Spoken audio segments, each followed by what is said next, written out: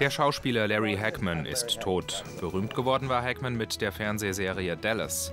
Hier spielte er den skrupellosen Ölbaron J.R. Ewing.